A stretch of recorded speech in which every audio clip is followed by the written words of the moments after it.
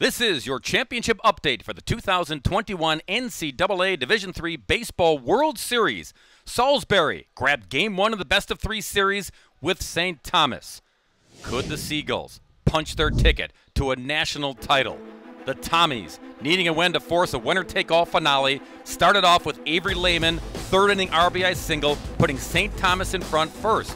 But the Gulls answer in the fourth. With the bases loaded, Cullen McCullough drives in the tying run.